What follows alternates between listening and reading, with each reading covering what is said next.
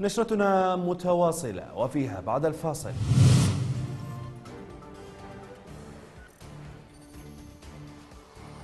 ضربة قاصمة لإرهابي داعش بمقتل الذراع الأيمن للبغدادي بأطراف كركوك.